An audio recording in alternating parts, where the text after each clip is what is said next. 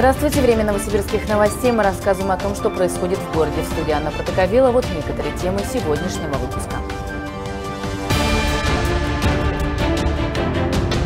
Новый сквер появится в Новосибирске. Деньги на благоустройство выделит частный инвестор. Проект уже одобрили жители. День рождения защитника Отечества. Ветерана Второй мировой войны поздравили с 95-летием.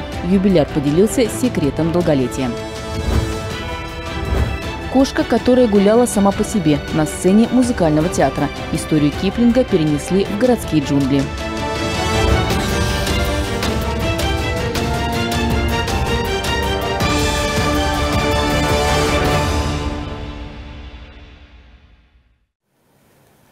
1 июня в Новосибирске начнут благоустройство территории на пересечении улицы Димакова и Российской.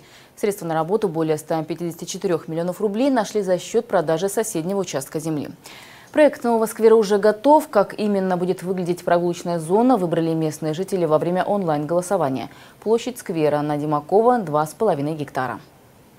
Если, как э, предлагали некоторые, ждать бюджетных вливаний, возможности бюджета, то это может растянуться в дальнейшем на неопределенный срок. И так история тянется очень давно. И, безусловно, в первую очередь упор делается на зеленую зону, на построение этого парка. Впрочем, часть этих денег планируется в том числе использовать для разработки ПСД, для реконструкции ДК «Академия», в чем тоже крайне заинтересованы жители Академгородка. Сейчас территория будущего сквера представляет собой неухоженный участок, беспорядочно заросший кустами и деревьями. Чтобы привлечь инвестора для благоустройства территории, ему передали заасфальтированный пустырь, прилегающий к территории будущей зоны отдыха. Там построят досуговый молодежный центр. В самом сквере вдоль улицы Российской высадит зеленую изгородь. На территории появятся ухоженные насаждения, аллеи, спортивные детские площадки, много разных лавочек. Продажа смежного участка позволит провести благоустройство значительно раньше, чем чем планировали.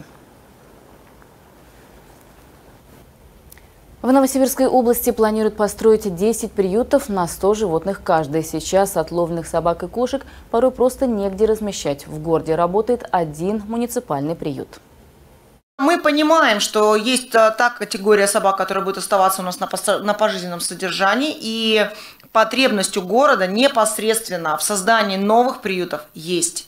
И совместно с управлением ветеринарии мы делали расчет, какая потребность для города есть. Она у нас существует как минимум три приюта нужно в городе по 250 э, голов. Помимо муниципального приюта в городе действуют несколько частных. Все они стерилизуют, вакцинируют и чипируют животных. Такую работу в частных приютах начали несколько лет назад. В муниципальном центре по проблемам домашних животных в прошлом году. После всех процедур неагрессивных собак выпускают. В прошлом году таких было около 700. В 2020 в регионе отловили 1706 животных без владельцев. 92 кошки, остальные собаки. Сейчас в Ленинском районе планируют зарезервировать место для строительства нового приюта. Все абсолютно животные у нас, которые попадают к нам, они у нас чипируются.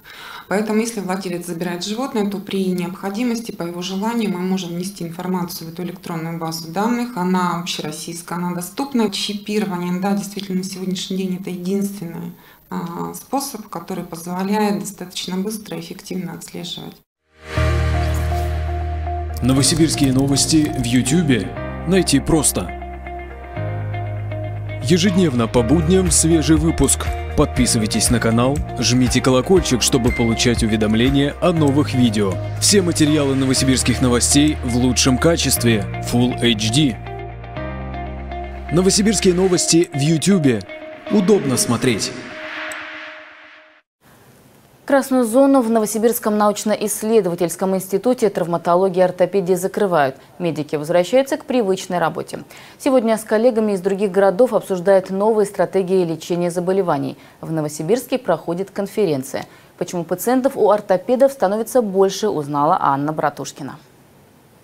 На операционном столе 33-летний мужчина. У него грыжа межпозвоночного диска на пояснице. Ситуация стандартная. Операция закончится через полтора часа. Пациент жаловался на боль в спине и ноге. Сначала медики лечили неинвазивными методами. Назначили лечебную физкультуру, физиотерапию, лекарства. Однако боли не проходили. После МРТ мужчине предложили хирургическое вмешательство. Методику давно отработали. Такие операции на потоке делают почти каждый день.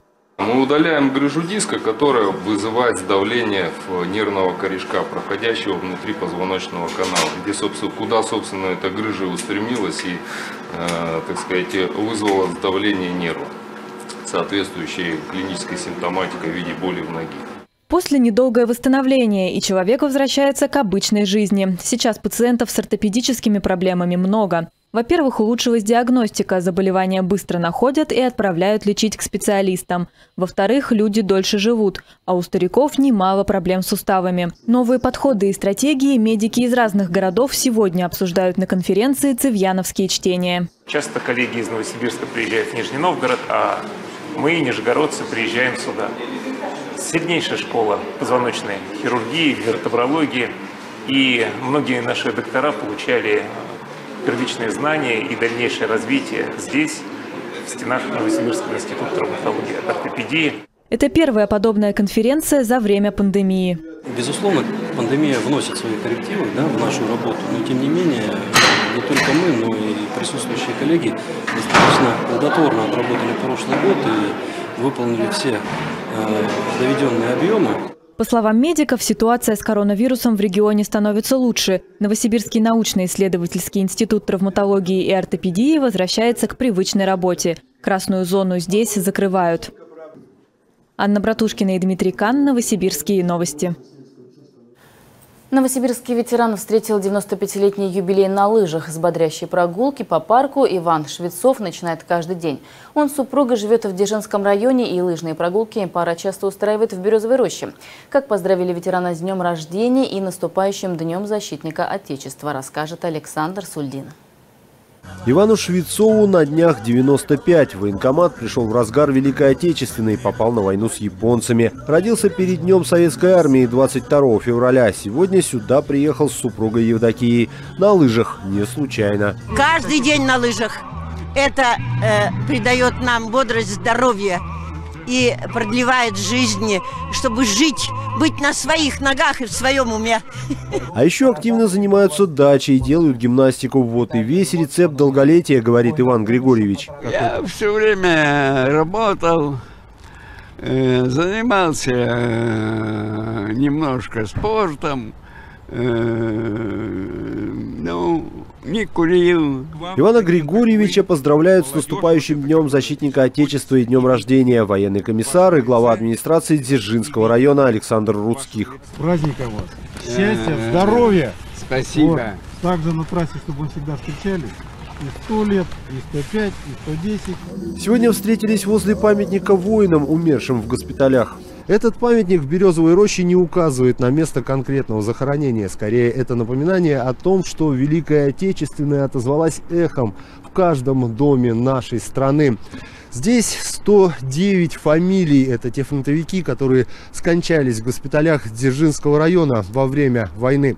В Советском Союзе здесь принимали в пионеры и сейчас какой-то мере эти традиции сохраняются. Кадеты и школьники приходят сюда каждый военный праздник. Вот и сегодня юноши и девушки в форме продемонстрировали ветерану свою строевую выучку, отдали дань уважения погибшим. Иван Григорьевич с Евдокией Матвеевной поехали домой чай пить. Завтра с утра снова на лыжню набираться бодрости. Александр Сульдин, Данил Смирнов, Новосибирские новости. Фестиваль по ориентированию для незрячих и слабовидящих детей организовали в Новосибирске. Участники показали, насколько хорошо могут самостоятельно передвигаться по улице. Перед тем, как выйти на старт, все они прошли специальную подготовку. Подробнее Александр Потенихин. Этот макет показывает дистанцию, которую предстоит пройти незрячим детям. Первоклассникам нужно преодолеть короткий маршрут от одного угла дома до другого. Для тех, кто повзрослее, подготовили дистанцию подлиннее. Трасса знакомая. Дети месяц занимались в этом месте. Я показывал на маршруте, как выглядит линейный ориентир, как отрываться от ориентира, переходить к другому ориентиру, как двигаться вдоль ориентира. А, э, двух классификаций ориентира. Это тактильный ориентир, который э, под тростью идет, то, что он ощущает тактильно руками. И э, второй ориентир – это звуковой. Подобные фестивали проходят уже около 10 лет. Их организуют по нескольку раз, чтобы дети могли ориентироваться в разные времена года. На трассе за маленькими участниками присматривают волонтеры. Волонтеры тут играют очень важную роль, потому что они сопровождают ребят слабовидящих либо слепых деток, которые проходят у нас дистанцию на этом мероприятии небольшими такими испытаниями. Они их сопровождают, контролируют и помогают пройти этот путь, чтобы у них все прошло хорошо. Такой фестиваль полезен как для детей, так и для их родителей. Незрячие дети, с ними сложнее их, так сказать, обучить миру, да, понять пространство, которое вокруг них находится, объяснить. Даже родители сами не знают, как это сделать. Поэтому это не столько для детей, сколько для родителей тоже очень важно. Научиться, как научить своего ребенка познавать мир. Незрячим и слабовидящим детям важно ориентироваться на улицах города. Благодаря этому они могут заниматься спортом, учиться и в будущем найти работу. Александр Потенихин и Александр Анисимов. Новосибирские новости. Общественные обсуждения градостроительных проектов проходят регулярно. Как в них принять участие, подскажут новосибирские новости. Проекты планов будущей застройки и материалы к ним для общественных обсуждений размещают в государственной информационной системе «Электронная демократия» Новосибирской области. На обсуждение выносят градостроительные проекты, правила землепользования и застройки, проекты планировки, межевания и благоустройства территории. Обсуждения проектов проходят в онлайн-формате. Высказаться дают как физическим, так и юридическим лицам. Это могут быть те, кто постоянно живет или владеет недвижимым имуществом на территории, которой касается подготовленный проект. Оставить свои предложения и пожелания может только тот, кто авторизован в системе «Электронная демократия» Новосибирской области. Чтобы стать участником обсуждений, нужно зайти на официальную страницу информационной системы и нажать кнопку «Войти». Авторизоваться могут только пользователи, зарегистрированные в федеральной системе госуслуги. Если вы новый пользователь, можно пройти упрощенную процедуру регистрации. Ознакомиться с описанием проекта можно в его карточке. Для детального изучения сохраните файл градостроительной документации. Для этого нажмите кнопку «Скачать». В открывшейся форме нужно нажать кнопку «Подтверждаю». Так вы подтвердите свой статус участника общественных обсуждений. После скачивания файла «Электронная демократия Новосибирской области» учтет вас как участника общественных обсуждений. Чтобы высказать свое мнение, нужно нажать на кнопку «Написать комментарий» в карточке проекта. Если это ваш первый комментарий в системе, заполните несколько форм с полями для предоставления сведений о месте жительства и регистрации. Если место вашего проживания не совпадает с местом регистрации, то нужно поставить соответствующую отметку и приложить файлы. Либо договор аренды, либо договор безвозмездного пользования или другой документ, подтверждающий место фактического проживания. В открывшейся форме заполните поле «Ваш комментарий». Напишите пожелания или требования в свободной форме. Сообщение не должно быть длиннее 2000 знаков. Затем нажмите кнопку «Опубликовать». После в ваш личный кабинет придет уведомление, что комментарий зарегистрирован и ему присвоен номер. Модератор проверит ваше высказывание, результат проверки отобразится в личном кабинете в виде статуса. Комментарий опубликован или комментарий отклонен с указанием причины. Вы можете оставить неограниченное количество комментариев. Ваши предложения проанализируют эксперты, по возможности их учтут в проекте. Ваше участие в онлайн-обсуждениях – это возможность повлиять на будущий облик города – и сделать его лучше. В музыкальном театре появилась кошка, которая гуляла сама по себе, а вместе с ней дикий пес, лошадь и корова. Спектакль по мотивам произведений Киплинга поставил режиссер из Санкт-Петербурга. Он сделал сказку современной. Удался ли эксперимент, расскажет Анна Буянова. На сцене музыкального театра история, знакомая многим с детства. Первобытный человек приручает диких животных. Сначала собаку, потом лошадь и корову. И только кошка, гуляющая сама по себе, не поддается соблазну. А как тебя зовут? Я та, которая гуляет сама по себе. Какое длинное имя. Я буду звать тебя та, которая, ладно? А где ты живешь, та, которая? Мой дом весь дикий. Однако постановка Василия Заржецкого традиционная лишь на первый взгляд. Персонажи выглядят современно, кругом небоскребы. Город сегодня это что? Это каменные джунгли, по большому счету. Недаром так редко, ну, так часто говорят, употребляют эту метафору. Каменные джунгли. Мы живем в этих каменных джунглях, сражаемся, боремся за выживание. И у нас, к сожалению, не хватает ни минуты, ни секунды на то, чтобы остановиться, оглянуться, посмотреть на окружающих, услышать их проблемы, их боль. Вот э, какие-то внутренние переживания, прежде всего о взаимоуважении мы хотели поговорить в семье. Музыка и песни тоже стилизованные, написанные в традициях бродвейских мюзиклов. Композитор Владимир Баскин.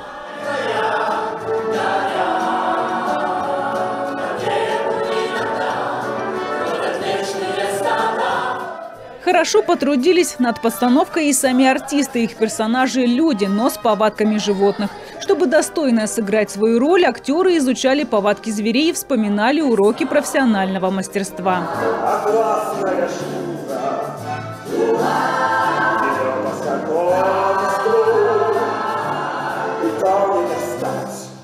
Я заканчивал наш Новосибирский театральный институт. У нас э, все это было в процессе обучения, то есть наблюдение за животными. И как раз вот семейство кошачьих у меня было одно из наблюдений, поэтому как-то так все вот эти школьные годы, скажем так, студенческие вспомнились. И, в принципе, было не очень сложно. Премьеру постановки «Кошка, которая гуляла сама по себе» музыкальный театр планировал еще прошлой весной. Сроки пришлось перенести из-за пандемии коронавируса. Артисты признаются, очень ждут выхода спектакля. Он у нас получился таким долгожданным. Мы долго ждали, долго ждали, волновались. И наконец-то случилось чудо. Прилетел наш режиссер, и мы сделали этот спектакль. Спектакль замечательный. Я думаю, что детям от 6 лет и по постарше, а, будет интересно. Премьера спектакля в воскресенье, 21 февраля. Анна Буянова и Денис Савинский. Новосибирские новости. Актуальные новости каждые полчаса на радио «Городская волна», частота 101,4 FM. Эм. А на сайте nsknews.info читайте о том, как взять питомца из приюта в Новосибирске. На этом все. До завтра.